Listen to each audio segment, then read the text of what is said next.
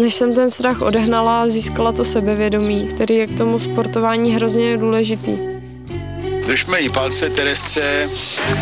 Na silnici loni i letos vyhrála, co se dalo. Sama říká, že raději jezdí časovky, v silničním závodě se prý v tom chumlu závodnic ještě necítí. Ještě loni jsem závodila jako juniorka a Užívala jsem si takový juniorský slávy, že jsem vyhrávala, gratulovali mi lidi a dostávala jsem medaile a drezy a, a užívala jsem si to výsluní.